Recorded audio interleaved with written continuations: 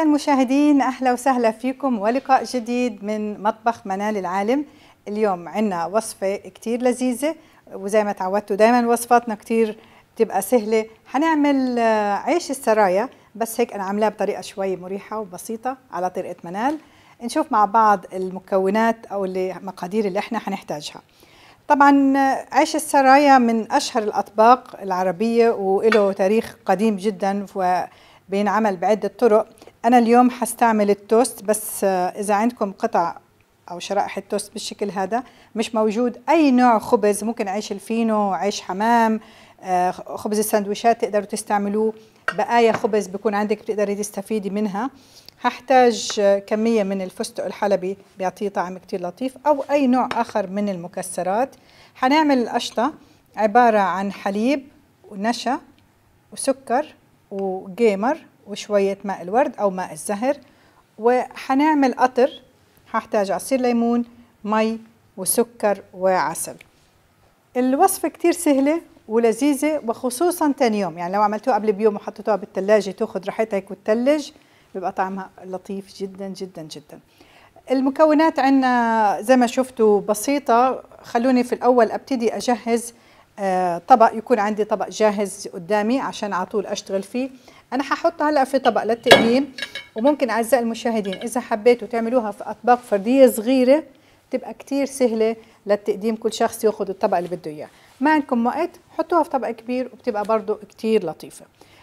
هبتدي أشتغل على مرحلتين أو في خطوتين عشان يبقى شغلي يخلص كليته في وقت واحد. عايزة أجهز في الأول الشيرة. هحط مقدار السكر ومقدار المي. الشيرة اليوم إحنا عاملينها هيك فيها فليفر كتير لطيف اللي هو العسل. بحط حوالي معلقتين من العسل. ممكن تستغنوا عنه إذا حبيتوا بس هيك حتحسوا هيك فيها طعم شوي مختلف إذا حبيتوا إضافة العسل. حوالي معلقتين كبار بالشكل هذا. وحضيف عصير الليمون مباشرة.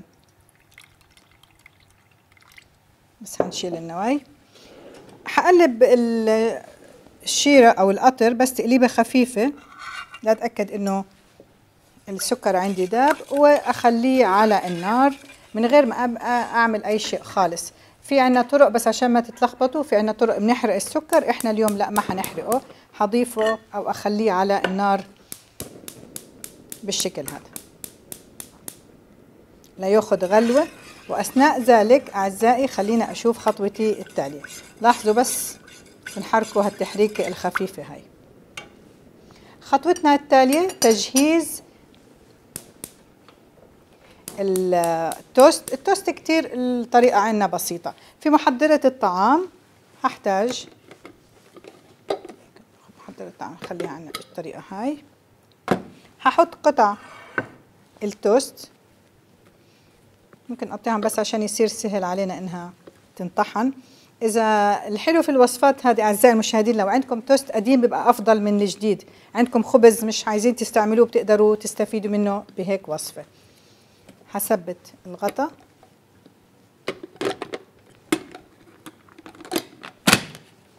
وأشغل لغاية ما ينطحن عندي التوست ناعم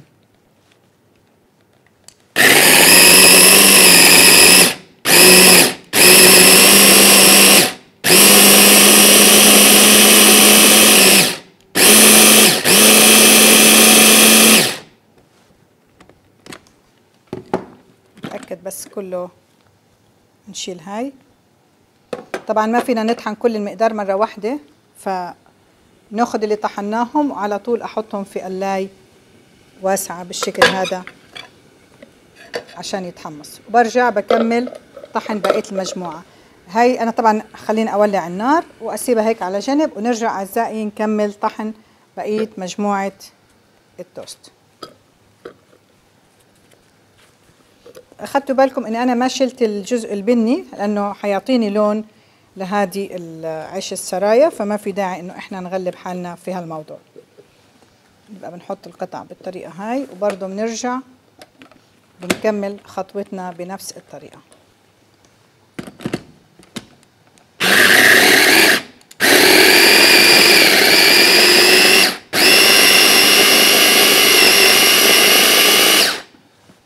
بحتاج بس هيك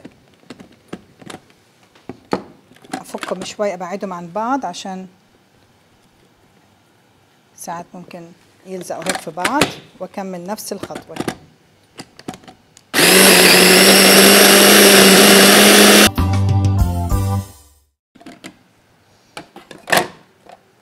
التوست هلأ صار عندي جاهز.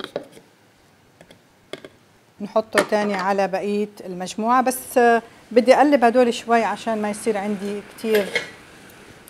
هيك بدوا يتحمصوا آه ما شاء الله. ابتديت هيك هالتحميصة الحلوة.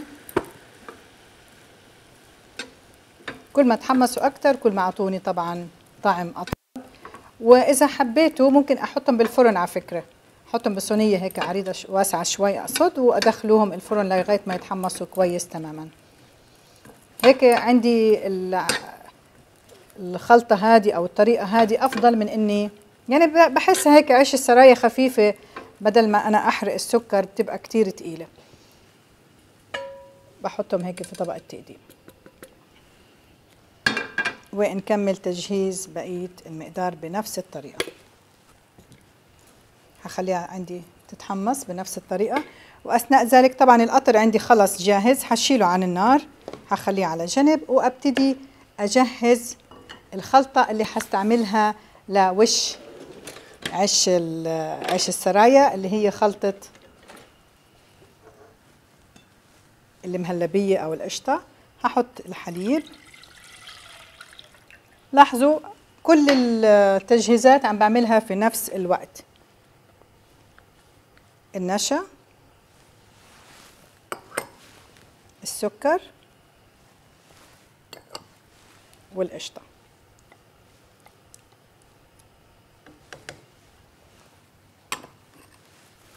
وإذا حبينا نضيف أي نوع من المطيبات زي ماء الزهر أو ماء الورد حسب رغبتكم. هالخلطة كليتها بقلبها.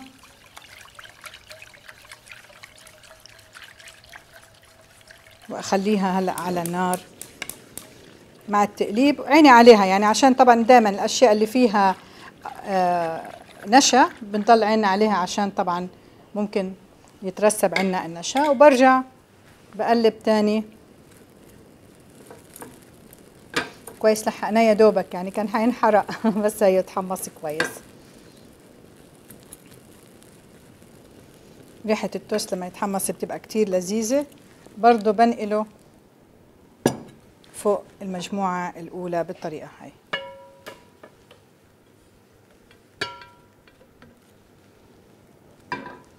لاحظوا هلا كل الكمية هذه حتهبط هيك لما أحط لها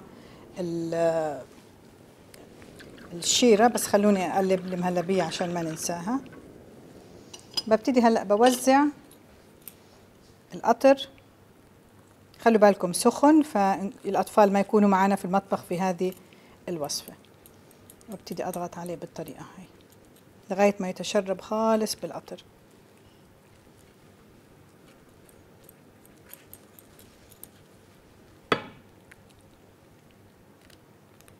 هيك عنا خلصت هذه الخطوة. نضغط كويس. طبعا إضافة العسل كتير مهمة لأنه حتعطينا هيك ريتش تيست يعني.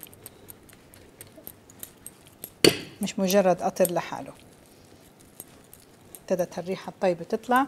نرجع تاني نشوف المهلبية شو الأخبار أو القشطة. تقليب خفيف خلوا بالكم. أنا ما بدي أحرك كتير ممكن أستغني هلأ عن المضرب. ومجرد أقلب في ملعقة بلاستيكية بالطريقة هاي. لغاية ما يتماسك عندي. عشان هيك قلنا لازم أشتغل في الوصفة هذه بالثلاث مراحل مع بعض. التوست والقشطة والشيرة في نفس الوقت. الشيرة بدت عندي تتماسك.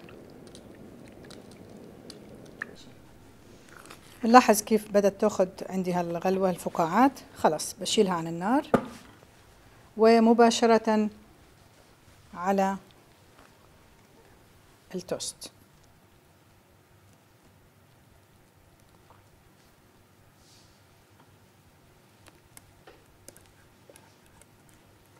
من أطيب وألذ وأسهل الوصفات. هلا قبل ما تنشف عندي خالص برش رشة وفيرة من الفستق. وطبعا قبل التقديم برجع برش رشة تانية بس يفضل إني ارش في الأول ليش؟ لأنه بيلزق مع المهلبية أو القشطة فبياخد من طعم القشطة فبيبقى طعمها كتير لذيذ غير من إني أحطه بس على الوش حط. اعزائي المشاهدين هلأ عيش السرايا عندي جاهز يدخل الثلاجة زي ما قلنا إذا في مجال عندكم تعملوه قبل بيوم بيبقى كتير كويس. أو لعدة ساعات وتستمتعوا بشكله وبطعمه حورجيكم هلأ شكله كيف أنا عاملاه على شكل كاسات فردية أو زي ما حبيتوا طبق تقديم على السفرة.